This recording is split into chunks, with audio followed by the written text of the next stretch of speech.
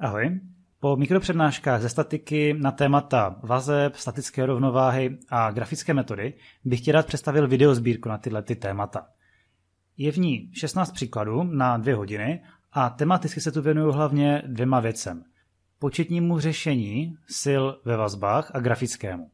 Tahle ta sbírka je rozhodně pro vysoké školy, pro stavaře i strojaře, pokud berete jak grafickou, tak početní metodu.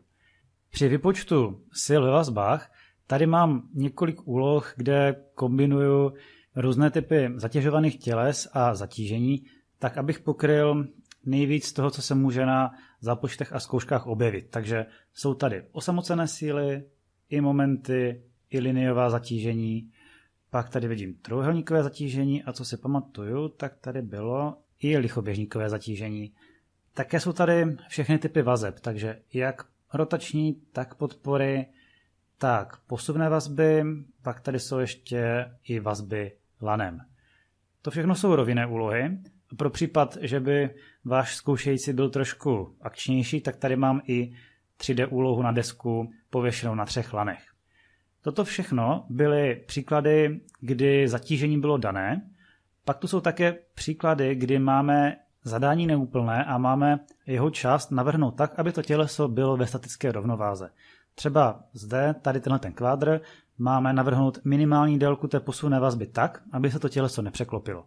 Nebo tento obzvlášť oblíbený příklad u nás na strojárně u zkoušek, kdy mám navrhnout rozsah polohy této podpory tak, aby se ten kvádr nepřeklopil. Co se týče grafického řešení, tak je tady několik úloh, kdy pomocí věty o dvou a třech silách mám určit velikost a směr sil ve vazbách. K tomu můžu taky používat eh, různé další finty, jako Kulmanovu přímku nebo superpozici. A pak jsou tu také úlohy, kdy mám část zatížení navrhnout tak, aby bylo těleso ve statické rovnováze, protože bez toho zatížení je eh, to uložení pohyblivé. Což jsou třeba tyhle ty dvě poslední úlohy, kdy musím stanovit velikost síly na známé nositelce, nebo mám navrhnout eh, velikost momentu tak, aby to těleso se nepřeklápělo na jednu nebo na druhou stranu. Na tuto sbírku je jako vždycky záruka 14 dní na vrácení peněz.